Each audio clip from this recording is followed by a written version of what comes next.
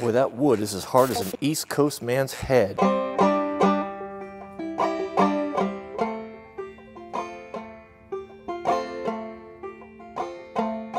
So it seems to me, if you're gonna go to the trouble to build a beautiful tool like this that's hand forged with laminated steel, made by a blacksmith where the guy actually had to split the metal and put a piece of carbon in there to do everything right and the beautiful design and all the materials, and to ship it off with a loose handle is shocking to me. I mean, it's shocking. If it's going to be something that's sold at Harbor Freight or Walmart, okay, you know, we don't have super high expectations, right?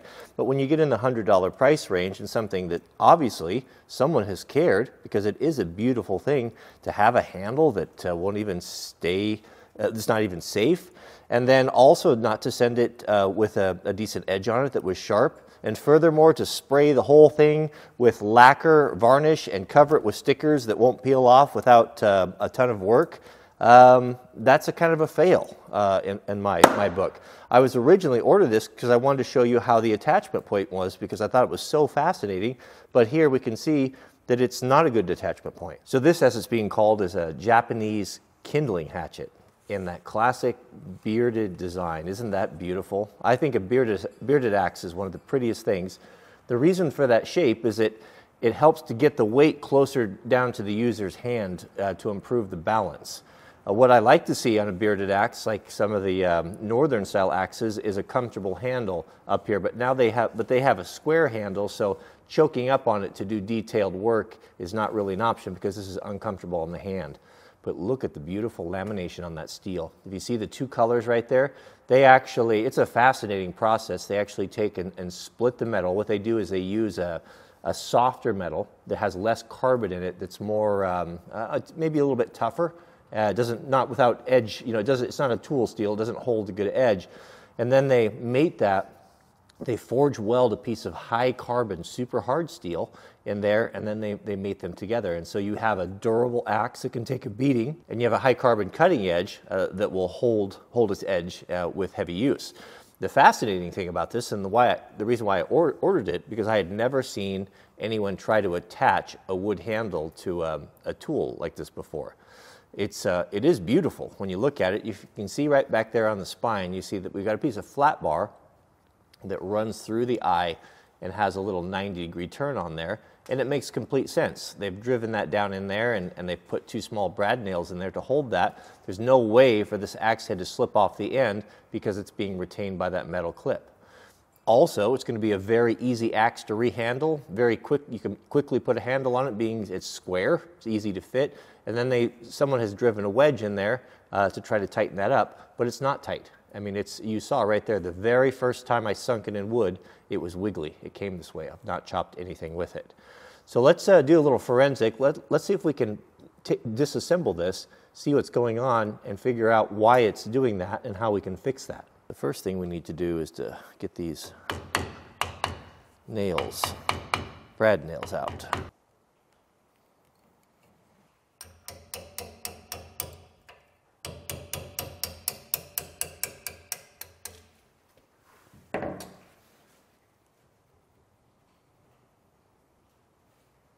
So what went wrong here? And what is this little wedge supposed to be doing? That's not really a proper wedge. That's a piece of flat bar uh, that someone just cut off with a shear, just quick and dirty. Ah, now that's very interesting.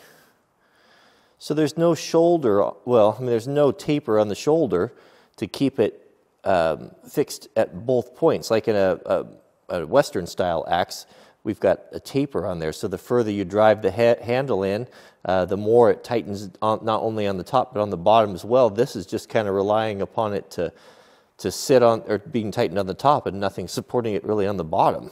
So here's the axe head. It is beautiful, isn't it? Look at that, pretty. So it is way it, it is got it has does have a taper in there, you know, towards the front at the handle, and that fit now is it can only go one way, so you can't mix the handle up. Let's do this. Let's, uh, let's taper that shoulder so that when it comes up hard against that, at least there's something holding that tight against the side and it's not just bouncing up and down on that ledge. We'll use the spoke shave and just put this slightest taper on that.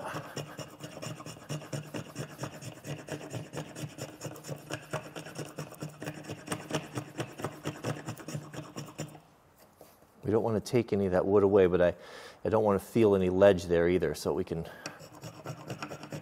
drive that down. Whatever wood they used, it's a hard wood for sure. You know, guys, I think the only way to fasten this securely is to put a wood wedge in it. But we're going to have to do it the opposite way. I've never done this before. We have to cut a kerf in here and wedge it out this way. My fear, the way the grain's oriented, is that that may split the wood. So one thing, so right there is where it was sitting before, right there on that shoulder, and we tapered this down. So we'll be able to drive that down a little bit further than that. So if we were to, let's say if we drill a small hole right here to relieve, it might help to relieve some pressure, and then cut a kerf down there, that might just do the, do the trick.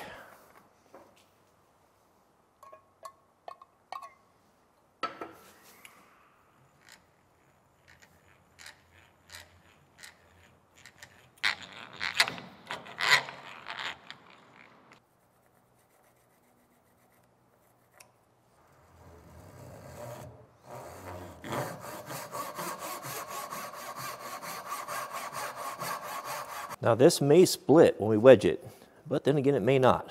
It depends on the type of wood it is, so we'll we'll see. But even if it does, you know, what have we lost, right?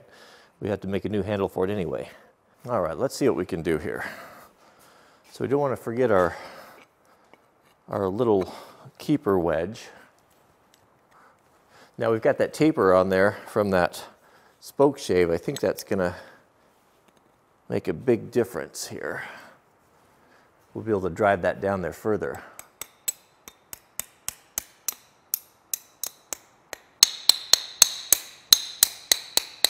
So unusual. I've just never seen anything like this before. But I've, a lot of the things are the same. You drive this down in there. Yeah, that's already, look how much further we're sticking up now. Now we're going down on that taper, that's going to be, it seems fairly obvious, right? That's really driving down on there. We might as well hit it again, get, get it as tight as we can. Yeah. Yeah, I like that. I'm just wondering, would, it, would we be better off to use more of a uh, Western style of step wedge. This is so small, it's going to split no matter what we do. This was already split. Um, I'm almost inclined to do this. Ah, we're, we're spitballing here, right?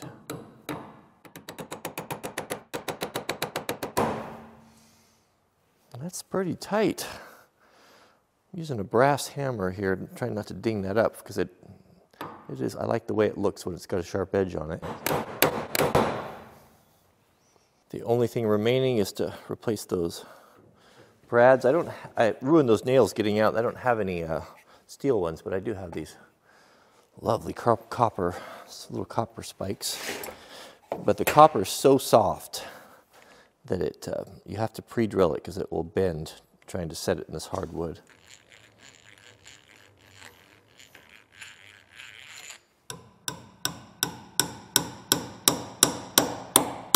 All right, friends, let's see how we did. We'll bury this in here hard. And we got rid of that movement. Let's give it a few good whacks.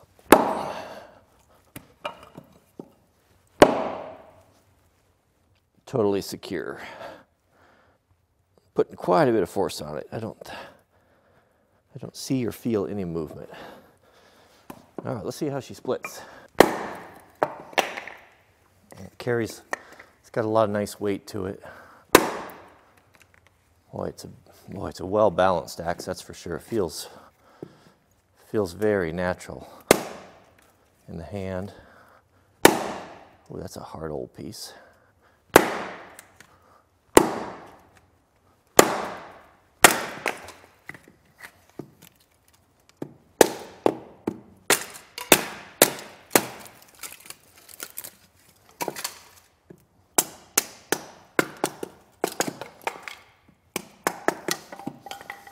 That's a nice little axe. Feels great. Uh, that varnish doesn't feel great, but that's fixable.